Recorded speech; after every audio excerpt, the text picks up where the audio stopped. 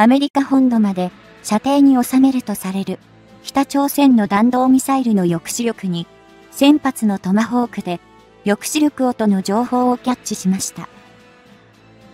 今回はこのトマホーク1000発で北朝鮮の抑止力につながるのかを詳しく見ていきますね。長射程巡航ミサイルトマホークを撃ってくれるかなこのところ、各種のミサイルの発射を頻発させている北朝鮮ではあったが、2022年11月18日に打ち上げた一発は、それらの中でも最大の大陸間弾道弾であったとみられ、北朝鮮も、それが大型の火星17号だったことを自ら懸念している。北朝鮮が開発している大陸間弾道弾の火星17号は、実は今年2022年2月から発射の兆候が見られ、翌3月16日に一度打ち上げらたとめされているが、この時の発射には失敗したというのが、韓国やアメリカ側の見解であった。そのため、北朝鮮では、その事実を覆い隠すかのように続く3月24日には、従来型の火星15号を打ち上げ、その報告の写真には、火星17号とおぼしきものを前面に出し、その失敗を内外に知られないように動いたものと考えられていた。そして、今回だが、ついに、実際の火星17号の打ち上げに、北朝鮮は成功したと見られており、北朝鮮は、同ミサイルが最高到達高度で 6000km 強、飛翔距離は 1000km 弱で予定通りに日本海に着水したと発表を行った。こうした今回の火星17号とみられる大陸間弾道弾の打ち上げにおいて、北朝鮮が公表したデータ、数値は、おおむね、韓国や日本が収集を行った内容と近似値であり、初めて計画通りの打ち上げに成功したことは、疑いの余地がない。この性能は、戦時に行われる発射を想定した場合には、最大の射程距離が、北朝鮮からアメリカの本土までを攻撃圏内に収めるおよそ1万 5000km にも達するとめされており、当然ながら、アメリカも警戒感を強めている。これまでは、開発が進められていることは、認識されていた大陸間弾道弾の火星17号ではあったが、今回の発射実験の成功によって、実際に運用可能な兵器として、これまで以上に北朝鮮のミサイル技術が発展していることを伺わせた。当然、北朝鮮は、今現在は、通常戦力では、韓国や在韓アメリカ軍、そして日本の装備に対抗不可能なことは承知しているため、今後は、こうした火星17号に搭載する核弾頭の開発を加速させ、唯一の交渉カードとして強化を続けるのだろう。ことに、今年2022年は、北朝鮮のこうした大陸間弾道弾の技術の提供先であるロシアが、ウクライナへの軍事侵攻を行ったものの、ウクライナ軍への NATO 加盟国からの兵器援助で苦戦している状態を見ているだけに、その感を強くする。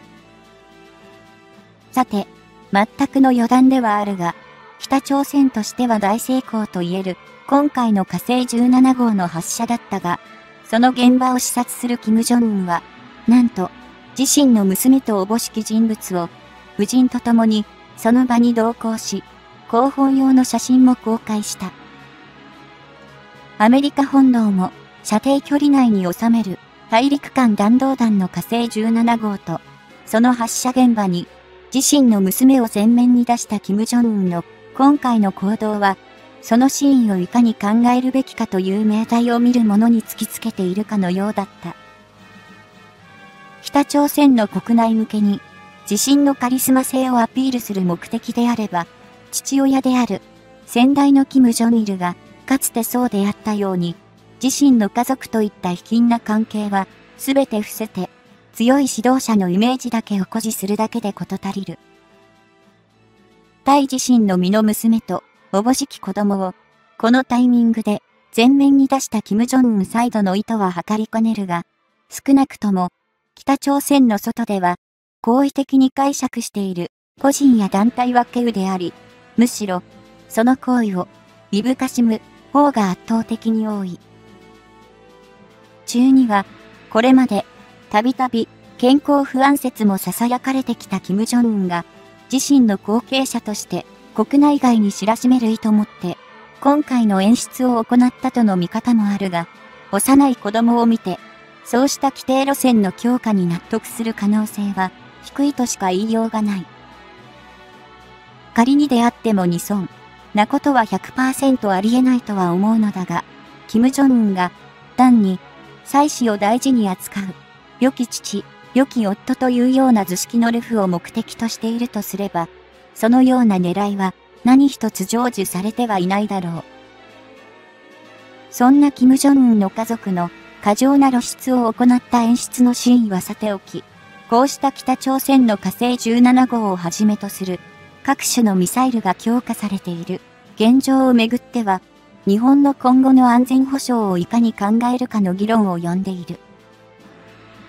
無論、日本は北朝鮮の火星17号のような大陸間弾道弾はもちろん、単、中距離の弾道弾も兵器として保有してはいないので、もっぱら、ミサイル防衛を対抗策に据え、日本に向かって飛翔してくるそれらを迎撃することが中心ではある。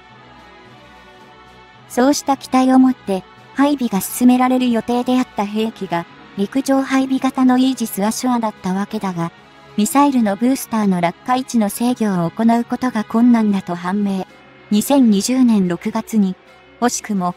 導入の中止が決定されてしまう。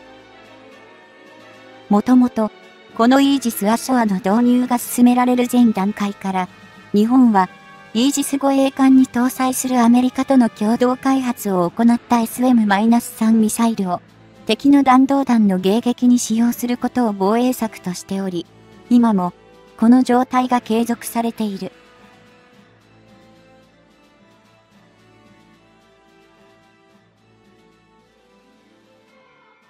海上自衛隊のイージス護衛艦に搭載した SM-3 ミサイルを使用してのミサイル防衛には、日本列島全域をカバーするためには、少なくとも、常時2隻のこれらの艦艇を専任で従事させる必要があり、これがネックとされてきた経緯がある。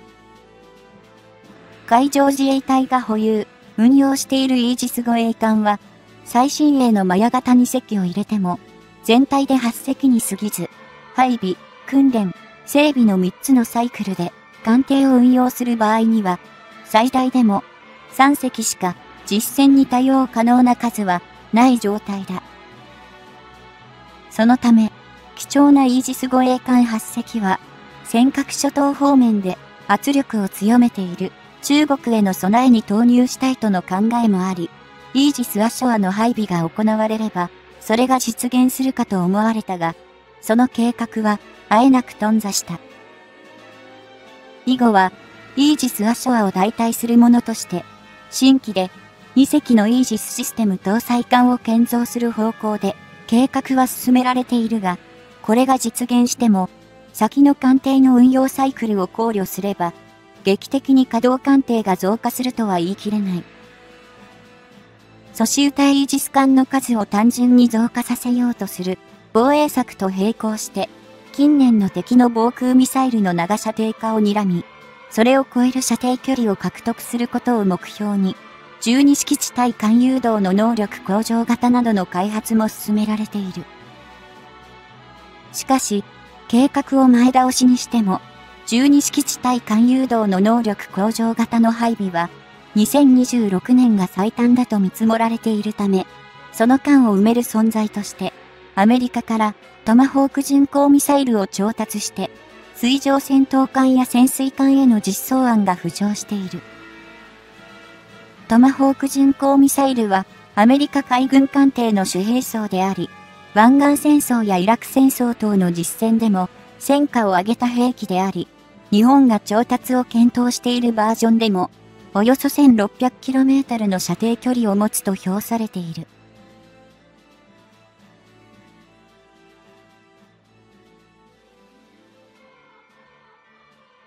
ただし、このトマホーク巡航ミサイルの飛翔速度は音速であり、命中精度や実績には定評はあるものの、かつて、盛んに政治上で議論された敵基地への攻撃能力については、今や有効ではないとの指摘も多くなっている。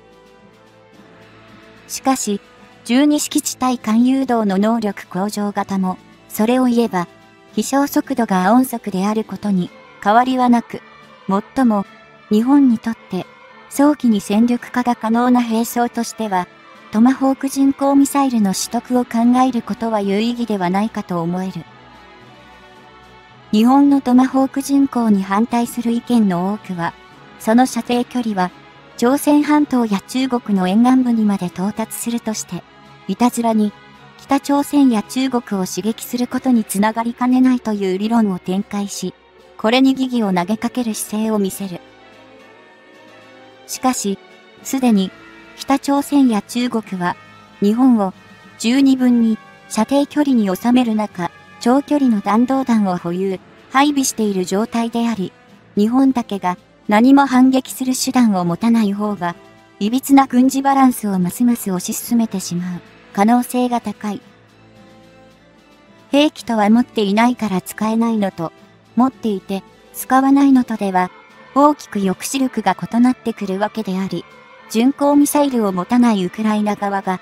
どのような状態にあるのか、一目見れば、その惨状は理解できるだろう。